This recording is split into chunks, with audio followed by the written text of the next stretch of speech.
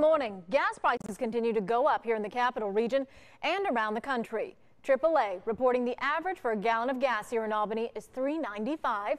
That is almost 25 cents higher compared to this time a month ago. Gas experts say the increase in price is a result of production cuts in the Middle East, also higher temperatures at oil refineries leading to slower production.